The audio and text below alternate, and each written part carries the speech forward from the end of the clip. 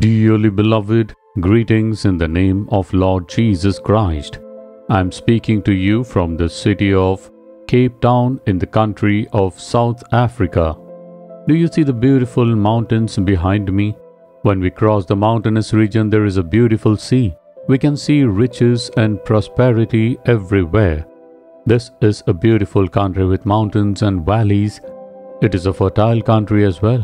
This is where we get quality coal. This is where world famous diamonds and gold are found. Not only that, there is prosperity everywhere we see. We can see olive trees over here. Fruit trees and vineyards are found in abundance. They produce wine here in this country and send it across the world. And this is indeed a very prosperous country.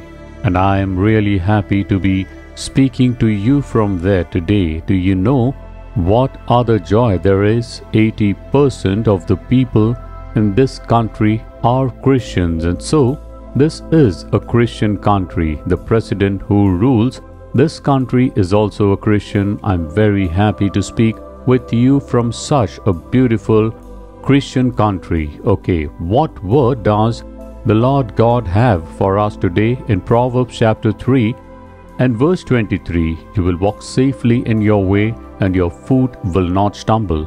You are facing some fear in the path you are on. Shall we do this or not? Fear of whether this be a success or a failure, the path that your children are on, the path that you are going through in your business, ministry, work, and family matters. Will the path that you are going through be the right one? Will it be blessed? A fear in the path that we take a fear of whether we will stumble. The Lord says, My son, my daughter, then you will walk safely in your way, and your foot will not stumble. He says, Don't be afraid. But this verse begins with the word then. If you ask when, only if we look at the previous verses, we will know it is said we should receive sound wisdom and discretion. The Lord is our wisdom. The Lord gives us good counsel if we make him our own and walk in his wisdom and sound discretion, then you will walk safely in your ways and not be affected. The scripture says that you will not stumble. So we need the wisdom and sound discretion of the Lord God. The Lord should be with us. I am reminded of an incident many years ago we serve the Lord as the Jesus Redeems family. Two brothers in the ministry brought a case to me. They said, Brother, he has done this against me. The other person says, Not me, he has done me wrong. Two brothers have criticized each other, and the case has come to me now. I should give them my judgment.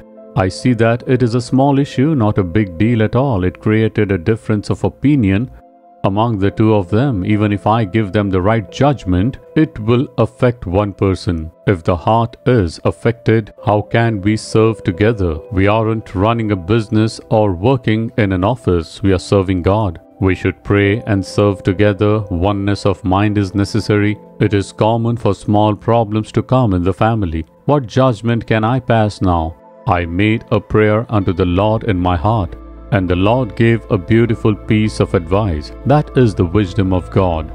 The Lord told me one thing. We have a practice in our ministry. Before you come to the office, you have to pray privately for at least one hour because it is a ministry. When you come, you should pray for one another. We have emphasized this to everyone. I asked them, Did you pray for an hour today? Did you pray for everyone who works in our ministry, our office. Did you pray for him? He said, I didn't pray. I asked the other person, Did you pray for an hour today? Did you pray for others? He said, No. Both of you go and pray, at least for an hour, and come back. I will investigate your case and give you my judgment. They went but never returned. Didn't it become all right? The end to the problem was the wisdom of God. Only if God is with us his wisdom will be revealed. then regardless of what you do, you should do it with the Lord God. I want your wisdom, Lord. Give me your wisdom. Be with me and lead me wisely. If you pray like this, you will not stumble at all. You will stand firm in everything. He will lead you beautifully. Will you say a prayer? Dear Lord, you are a God of wisdom. You give us sound discretion. Be with me and lead me wisely. I will not stumble. I will not face any obstacles. You will lead us beautifully. I believe it. In the name of Lord Jesus Christ. Amen. Amen.